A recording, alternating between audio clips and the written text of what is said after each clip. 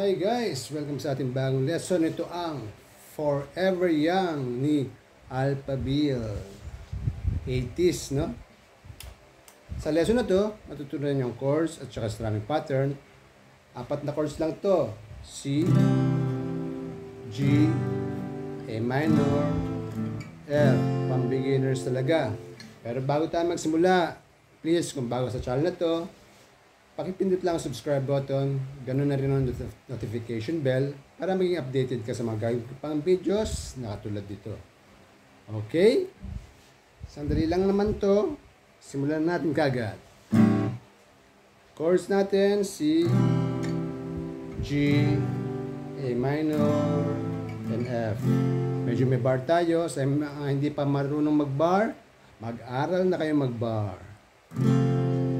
Alternate natin sa F. Bar nyo itong dalawa. Isa.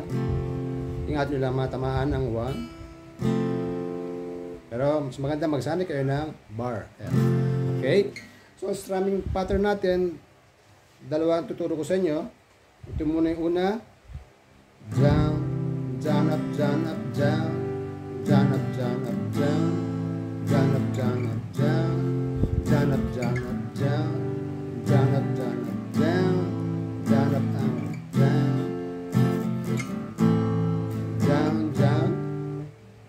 Strumming pattern natin. Down, down, up, down, up, down. Down, up, down, up, down. Down, up, down, up, down. Down, up, down, up, down. Down, up, down, up, down.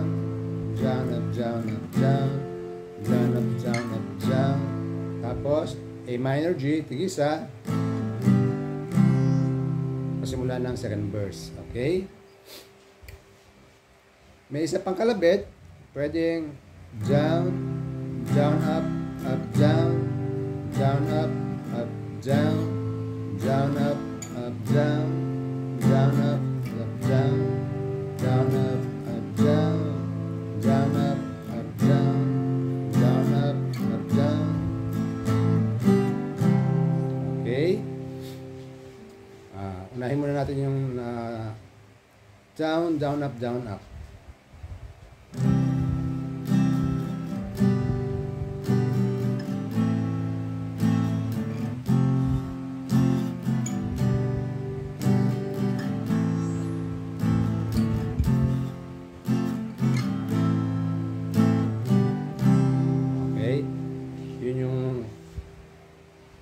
First natin na strumming pattern. Ito yung pangalawa. Mamimili na kayo kung anong gusto nyo. Kung saan kayo komportable. Kung ano madali sa inyo. Okay?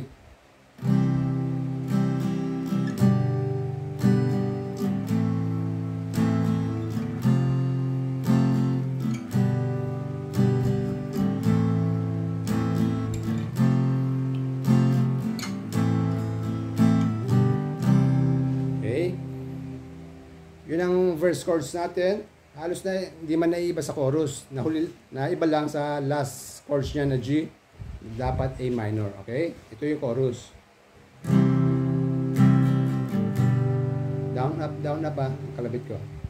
Down, down, up, down, up.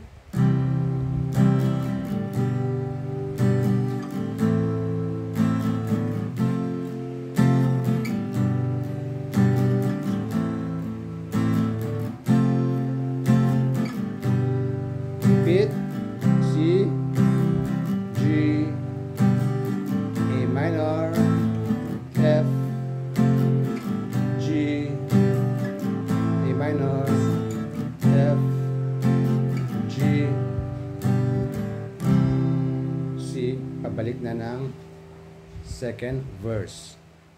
Ngayon, subukan natin yung down, up, up, down nating strumming sa chorus.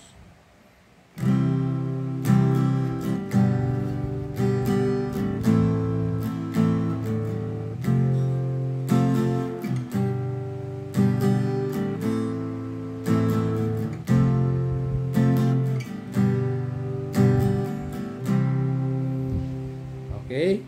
So, hanggang dito lang po ang ating lessons. Kaya kagaya ng sabi ko sa inyo, excel lang. Pang beginners talaga. Maraming salamat po sa panonood.